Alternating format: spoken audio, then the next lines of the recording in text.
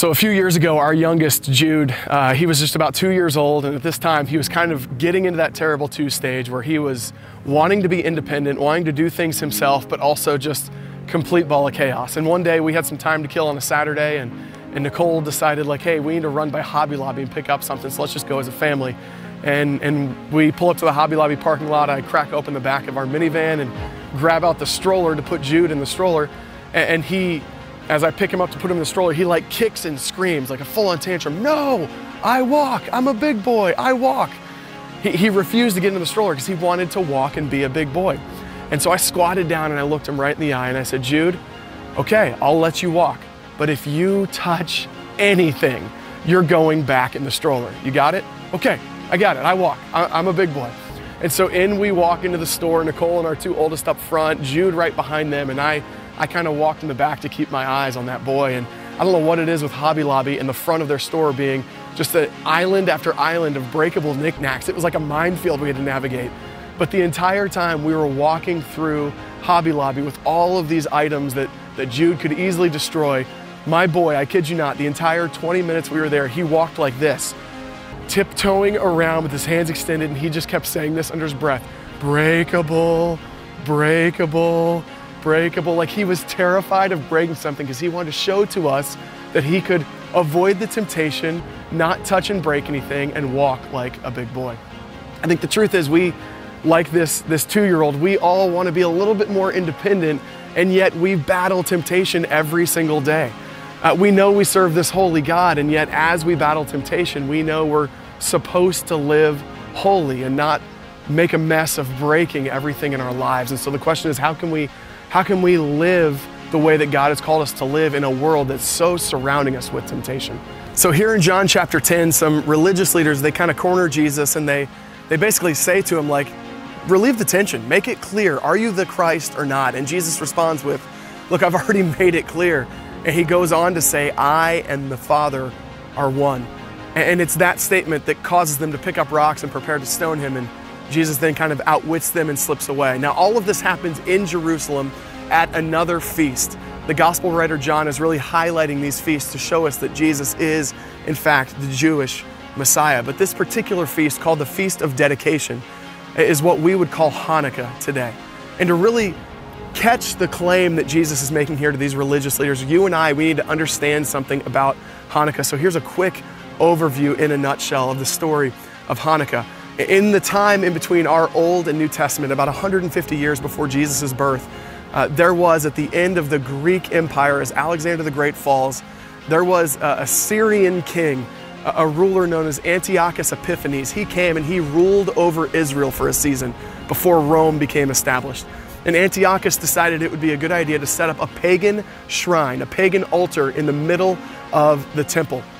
And he then sacrificed a pig, an unclean animal, on that pagan altar within the temple in Jerusalem. Now, this doesn't just insult the Jews.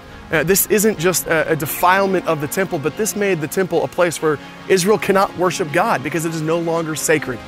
And, so, a man named Judas Maccabeus, yeah, he was a, a son of a priest. He rose up and started what was known as the Maccabean Revolt, a, a war retaliating against this empire. And it would be several years of guerrilla warfare that allowed this ragtag bunch of outsiders known as Israel to overcome this great conquering kingdom. And then it would take seven days for them to make the temple holy and sacred and purified again. And it's that, that seven day period where they're waiting for the temple to be made holy again to worship in, uh, that we get the, the idea of lighting of the menorah. Uh, they found within the temple only one vessel of oil remaining that hadn't been defiled by Antiochus and his men.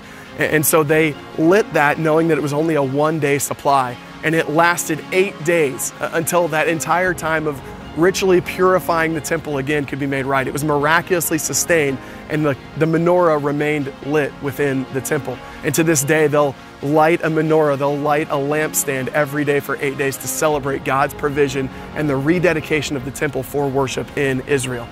Now, I want you to picture something with me for a moment. Jesus is standing in Jerusalem where that temple stands, and he's saying to religious leaders who are asking him if he's the coming Christ, the coming Messiah, who's going to liberate them from this other oppressive kingdom known as Rome. He says to them, I have been sent into this world consecrated by the Father. In fact, Jesus says this specifically in verse 36. Do you say of him, referring to himself, do you say of him who the Father consecrated and sent into the world, you were blaspheming because I said I am the Son of God? Now, that word consecrated is another way of saying holy, uh, set apart, uh, sent here on mission for a specific purpose, but, but different than the rest of the world. It's been consecrated or made holy. Jesus is saying, I have come into the world set apart as holy. He's essentially saying, just like the temple was rededicated, reconsecrated, set apart as holy for worship to God, I have been sent into the world to become the new temple. I am the one who is holy. I am the one, the realization and the truth that this entire temple system points to. I am the Holy One. And the good news for you and me who believe in Jesus is that we don't have to go into a temple and make a sacrifice any longer because He was the fulfillment of that entire system.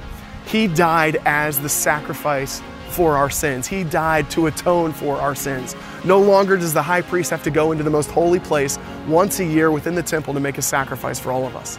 So, what Jesus is claiming is to be the Holy One. And the good news for you and me is that He then makes us holy. But I think we live our lives much like the the two year old version of my, my son in Hobby Lobby. We're walking around all of the different places of temptation in this world, knowing that we're set apart as holy by Jesus and living in a real world full of sin and struggle and brokenness and temptation. This week, I, I happen to be on a, a trip with a few friends here in Southern California, and I'm standing right in front of the Hollywood sign. And while there's nothing particularly evil about this place, the entertainment industry stands for us as all kinds of versions of temptation in our lives temptations for, for envy, for greed, for lust, for all kinds of things that can creep into our lives. It's an amazing opportunity for us to stand here and talk about this idea of holiness uh, because we're called to be holy. In fact, in 1 Peter 1:16 it says, "You shall be holy, for I am holy." Uh, we know as believers we're supposed to be set apart. We're supposed to be different. We're supposed to live holy lives. And even though we're sinful and broken and we make mistakes, and and this side of eternity, we're not going to reach perfection. We know deep down we're supposed to be growing into the likeness of Christ. We're supposed to be holy because He is holy. So, how do you and I navigate this world in light of the holiness of God that He has given to us? First of all, I think it comes by understanding that we ourselves aren't just becoming holy.